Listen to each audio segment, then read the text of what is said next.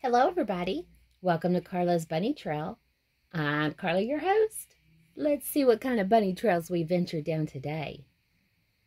Before you, I have baby Ollie, and Ollie is the Ivy Sculpt. And we're here for our Sunday tag of bibs, bonnets, and bows. Well, Ollie's a little boy, so we don't have bows today. But we do have our bib and our bonnets. Should we change our tag to bib, bonnets, and booties? Or keep it bibs, bonnets, and bows? I was just thinking that bows are usually for girls unless you used a bow tie on a boy. But booties could go for girls or boys. Bonnets could be girls or boys. And bibs could be girls or boys. So bibs, bonnets, and booties would be for either a boy or a girl. Well, let's show you our bib that we have. Our bib we have on today is a cream color. It has a bowl of cereal, looks like Cheerios. The bowl is blue and it has a smiley face. And you see little Cheerios floating in milk. And above it, it has seriously or serialously, serialously, cereal, C E R E A L, because there's cereal in the bowl.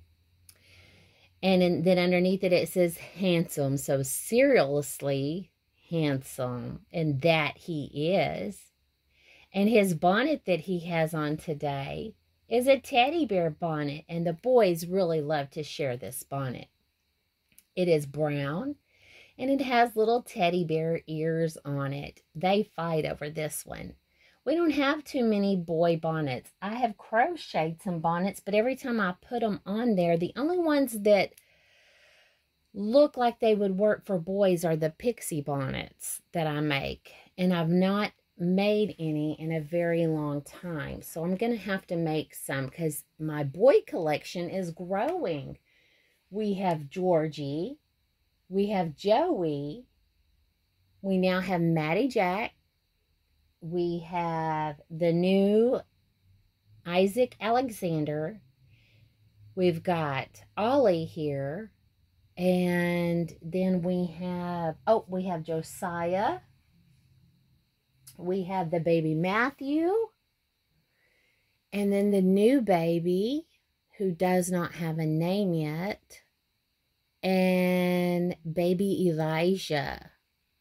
So that's what, nine boys. Wow, we really jumped to a big number of boys lately. We don't we haven't i always tended to lean towards the girls and then it's funny how your collection changes all the time. You know when i first started i thought i enjoyed the bigger and i did i you know my first baby was the joseph awake sculpt. The is he is he six month or three month? I can't remember but anyway um he was the very first reborn I'd bought. So you just didn't know. But at that point in time, I realized I still have him. He's our Georgie. Um, but at that point in time, I realized I, because two weeks later, I got my um, April sculpt. And I realized that that was the size, which is about newborn to zero to three month clothes. Uh, the April is that I really enjoyed that. And then it wasn't too long after that, I enjoyed, I've been doing, I guess I've been in this hobby for three and a half years, maybe four, going close to four years now. But after that, I, wrote, I thought I, I, well, I did. I changed and kind of went towards more of the six to nine month. And uh, those are my toddlers, you know. And here lately, I've really been favoring the, um, zero to three and three six three to six months. Even though for Christmas my big girl, she is like twelve months. She's a big girl. Hers heavy too. But anyway, not to take away from Ollie and his time in the light. It's his stardom today. for Sunday. Bibs, bonnets, and the question is, should it be booties? I think so. Bibs, bonnets, and booties. I've got to quit changing it or people aren't going to want to do it. and if it is booties, what booties am I going to put on this little man? I didn't give him any out, but these would work. We could put these booties that I made right here on you, sweetheart. I made these several years back. And they are mustard color.